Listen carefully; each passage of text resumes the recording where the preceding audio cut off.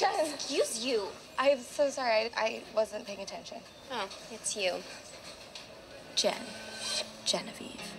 We used to be best friends, but post middle school, for reasons having to do with her popularity and my lack thereof, we are now decidedly not.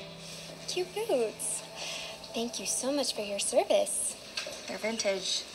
When I got them on Etsy. And they're amazing. Not everybody can pull them off. Lara Jean can rock them. But for you, cuz, well, Let's just say it's probably a good thing you're playing it safe. With those, uh, Uggs. Christine.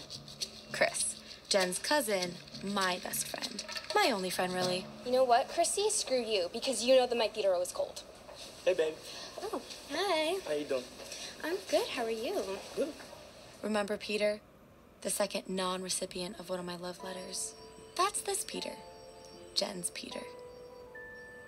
Seventh grade. My first real boy girl party. Everyone knew that Peter and Jen, who at the time was still my BFF, only wanted to kiss each other. I can spin it again. Well, you can't cheat the bottle.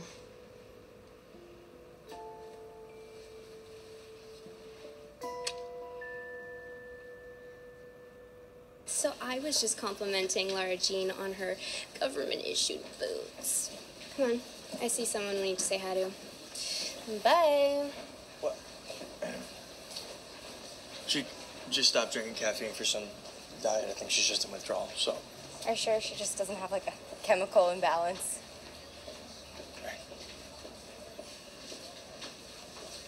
Do you really think my boots are amazing? See, if you ask, it ruins the whole vibe. Be cool. Anyway, you think I'm gonna let my cousin talk trash about you?